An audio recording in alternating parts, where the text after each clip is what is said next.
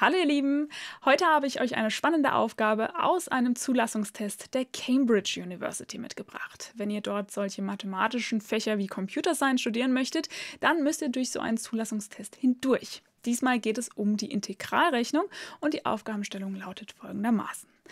Bestimmen Sie die Fläche, die von diesen beiden Kurven eingeschlossen wird. Die eine Kurve lautet y gleich p mal Wurzel x und die andere x gleich p mal Wurzel y. p soll dabei eine positive Konstante sein. Es gibt Antwortmöglichkeiten. Ihr könnt gerne mal testen, ob ihr mit eurem Wissen das jetzt auch schon so hinbekommen könntet. Ich zeige euch jetzt auf jeden Fall, wie man das lösen kann. Wir bekommen also zwei Kurven, die eine Fläche einschließen und diese Fläche sollen wir berechnen. Das kann man ja mit der Integralrechnung machen. Ich zeige euch jetzt auch gleich die Schritte, die wir abarbeiten müssen. Wir brauchen auf jeden Fall dabei auch die Grenzen von wo bis wo wir integrieren müssen. Das wären hier die Schnittpunkte.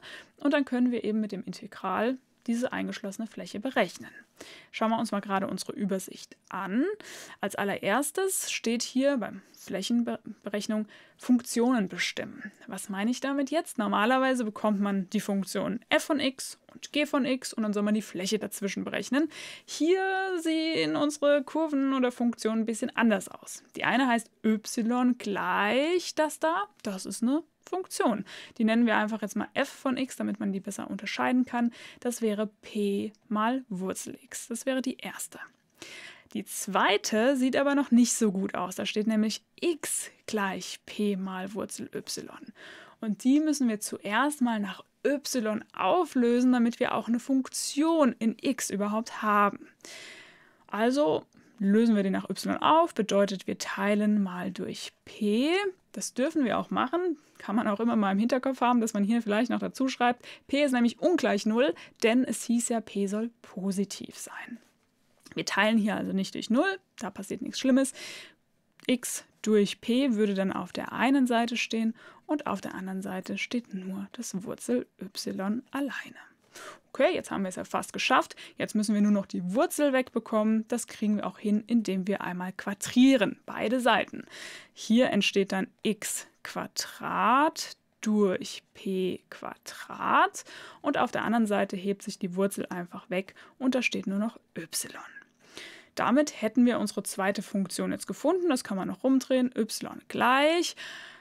Das x habe ich nicht so gerne in einem Bruch stehen, deswegen würde ich das x Quadrat hinter den Bruch schreiben und vorne dran dann eben 1 durch p Quadrat. Das lässt sich dann auch einfach besser integrieren oder ableiten, je nachdem, wo man ist. Aber ist auch Geschmackssache. Wenn ihr das so mögt und wisst, was das bedeutet, dann könnt ihr es natürlich auch so stehen lassen. Das wäre jetzt also unsere zweite Funktion, unser g von x. Ersten Schritt hätten wir dann also hinter uns gebracht. Wir haben die Funktion bestimmt, um die es hier überhaupt geht. Zweitens, wie eben schon gesagt, wir brauchen die Schnittpunkte jetzt von diesen beiden Funktionen, damit wir wissen, von wo bis wo wir überhaupt integrieren müssen.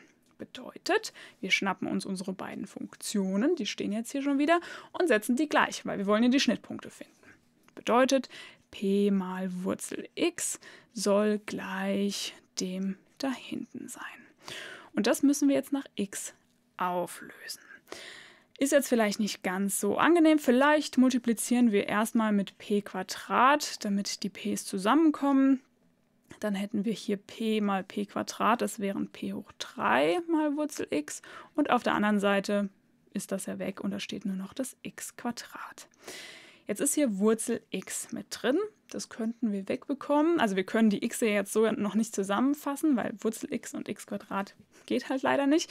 Deswegen würden wir mal quadrieren, damit es Wurzel x hier wegfällt. Was steht hier dann, wenn wir die komplette Seite einmal quadrieren? Auch das p hoch 3 muss quadriert werden. Das wird ja dann zu einem p hoch 6. Die Wurzel fällt weg beim Quadrieren, da steht nur noch ein x.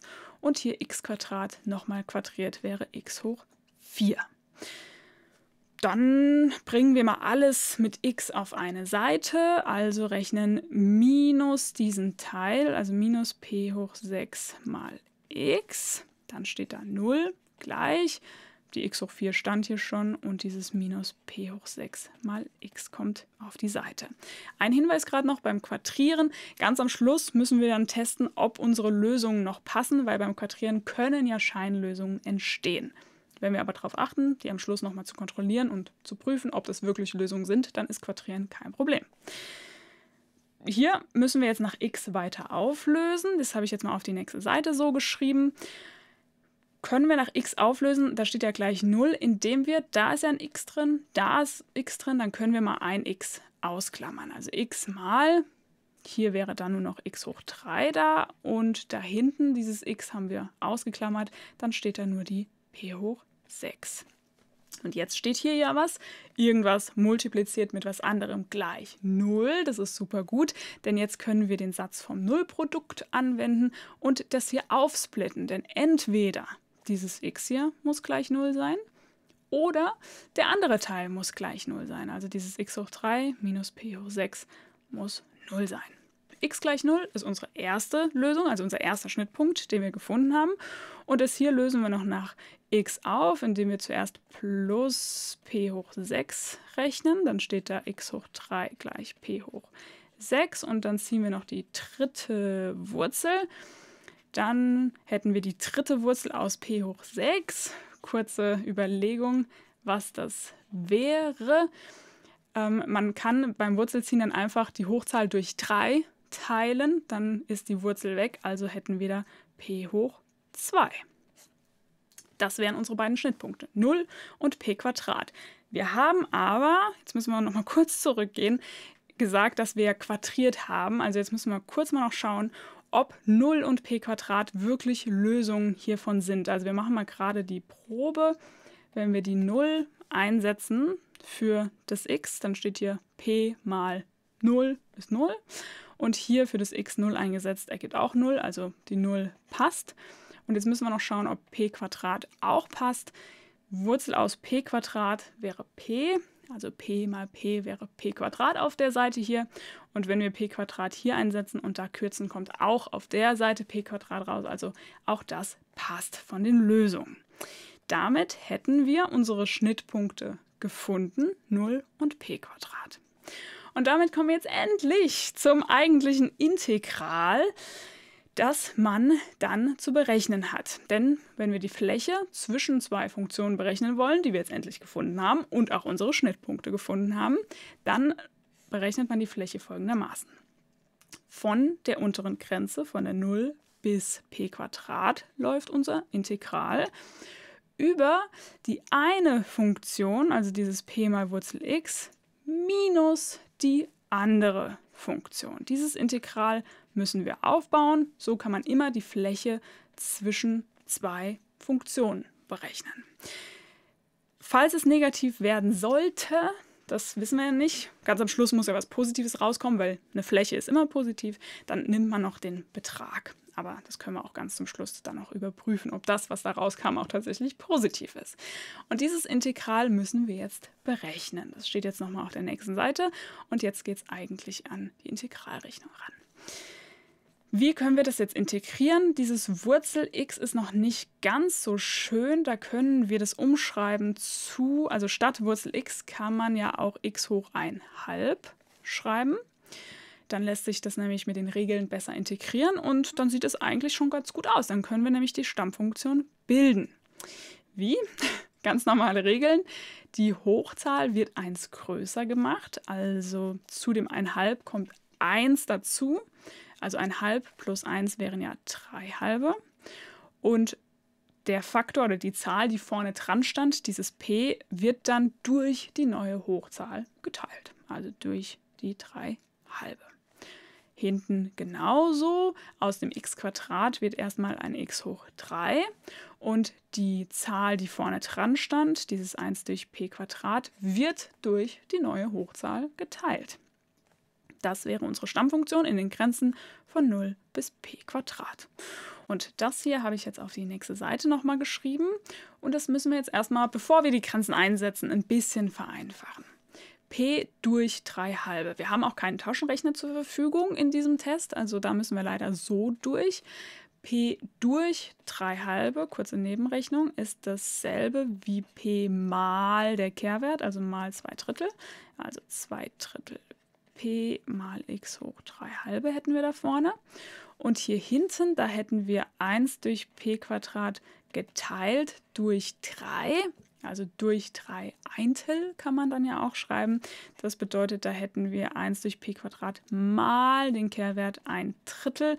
Bedeutet, dass 1 oben steht und die 3p Quadrat unten. Hinten dran aber trotzdem das x hoch 3 und die Grenzen bleiben natürlich. Okay, Nebenrechnung nochmal weg. Jetzt wird eingesetzt. Die obere Grenze zuerst, also das p Quadrat für jedes x hier rein, was ihr finden könnt, bedeutet, da steht 2 Drittel p mal das p Quadrat kommt da rein und dann hoch 3 halbe minus alles hinschreiben erstmal und für das x kommt da p Quadrat rein und dann hoch 3. Das war die obere Grenze. Dann kommt ja normalerweise ein Minus und jetzt wird die untere Grenze eingesetzt. Bei 0 ist es meistens sehr nett, denn wenn wir da 0 einsetzen, kommt 0 raus. Wenn wir hier 0 einsetzen, kommt 0 raus. Das ist einfach alles 0.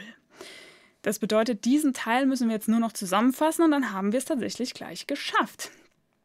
Wie können wir das also ein bisschen verrechnen? Da steht es jetzt nochmal.